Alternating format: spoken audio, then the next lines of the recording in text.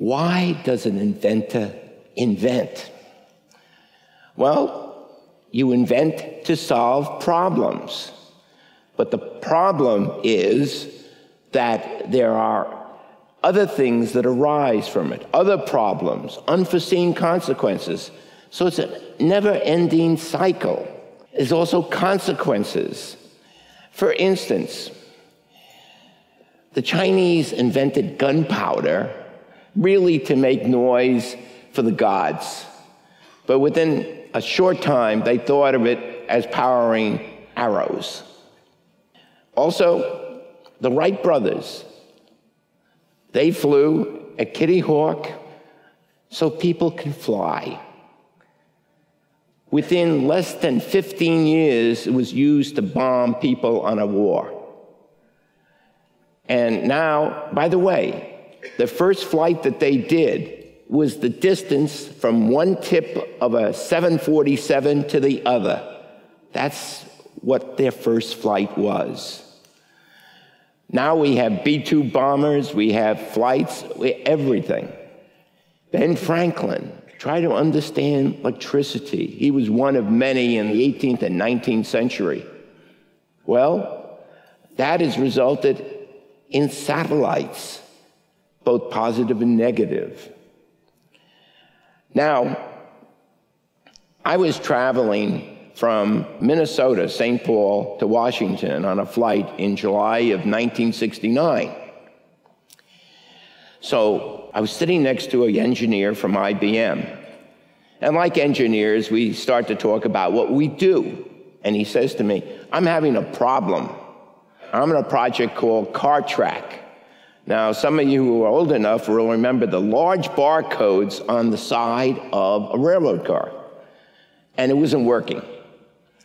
So I had been at the Bell Labs, and I took out my little notebook and I said, Well, I knew that in the Second World War there was something called friend or foe. An airplane would send a signal, and if it bounced back the wrong way, it was a foe.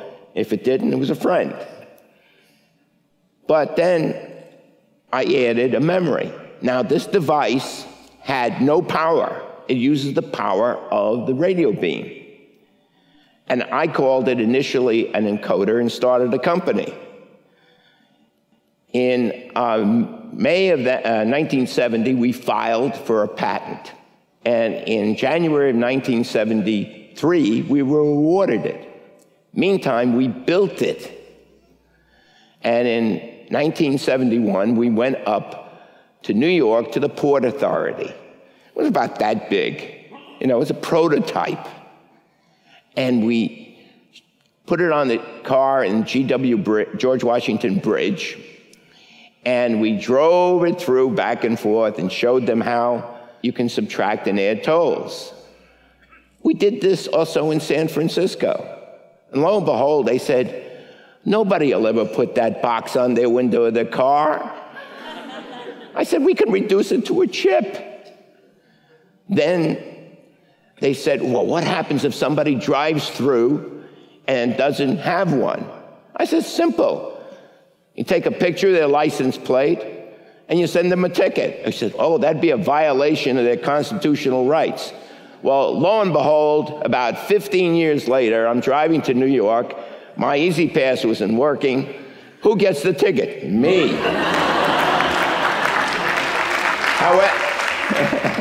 However, in 73, the Port Authorities decided, well, let's see if we can get somebody to make this for us. Well, in any way, they did it, and we went on. You always go on, you never stay still. Well, now it has many, many uses. And they're as tiny as that and tinier for taking care of people, student cards for opening doors here at GW. I have one all I have to do is touch the door of my car and it op- and opens with keeping the RFID in my pocket. Radio frequency identification tag. You see it on packages. It's used for inventory control. And many, many things. There are more things than I even envisioned in uh, 1969 and 70, which is on that first sheet for my business plan. And they're getting tiny. It's smaller than a human blood cell. This will change everything you know about computers. It is so small that you need an electron microscope to see it. This is a game changer. It will do many things that no one has anticipated. We are looking at things such as you could put it in dirt and it'll tell you what's happening. Or you could put it on the shell of an airplane, it'll tell you when it's failing. Billions of these things. So, and there are unforeseen consequences, what we don't necessarily know. It will change the way computers are. We can turn the walls, the cloth you're wearing, everything into a computer by spreading it and, and having them all communicate. This will change computing. And I'm not just saying it because I'm the inventor, I'm a scientist. Okay? Nano RFIDs are a sea changer in everything we do. Distributive computing makes the Internet of Things possible. Now, we have to, as the inventor and producers of these things, know that there are going to be unforeseen consequences that we can't figure out. But we have to try in our best to keep it from being misused or used for things that we may not want.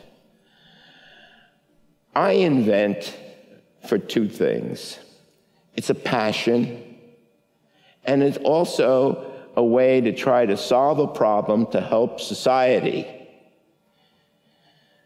But you never know. You may be opening Pandora's box. Thank you.